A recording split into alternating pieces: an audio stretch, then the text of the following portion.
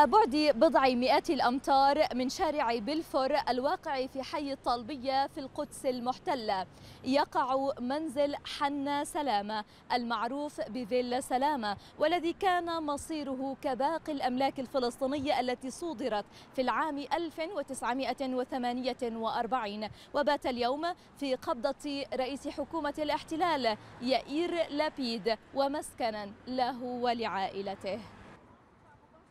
في العام 1932 بنى حنا سلامة مبنى فسيحا وجميلا وذو جودة معمارية غير عادية في حي الطالبية المرموق. قبل أن يهجر سلامة وعائلته بعد نكبة عام 48 إلى بيروت. ويصادر المنزل من قبل الاحتلال وفقا لقانون ما يسمى بأملاك الغائبين الذي يتيح بالاستيلاء على جميع الممتلكات التي خلفها اللاجئون. ولا تزال اللافتات التي تؤكد على عربية ملاك المنزل السابقين صامدة فوق بوابته حاملة اسم العائلة.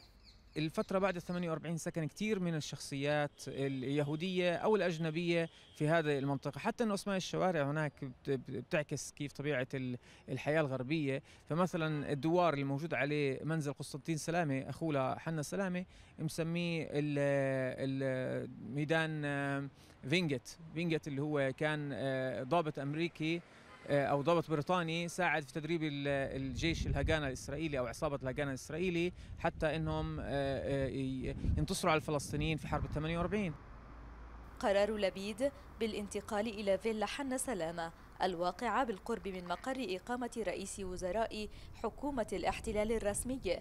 يخالف مبدأ طويل الأمد لبعض رؤساء الوزراء الإسرائيليين السابقين. وهو ما يراه محللون بأنه دعم مستمر لا متناهي للاستيطان بكل أشكاله. سياسيا الرسالة التي يريد آه، لبيد أن يؤكد عليها ويكرسها أنه آه، آه، لا وجود لحق العودة في عهد لبيد. كما قال سابقه نفتالي بنت وكما قال سابقه أيضا نتنياهو وقبله من رؤساء الوزراء. فكما قلت هم يتفقون على القاعدة ولكن لكل واحد منه أسلوب. الرسالة السياسية التي يريد إيصالها أنه لا وجود لحق العودة في الدولة اليهودية التي يدعيها لبيد.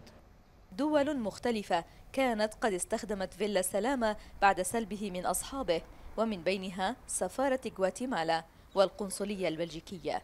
وبالرغم من ذلك فقد بقيت حجارة المكان وفية لأصحابها.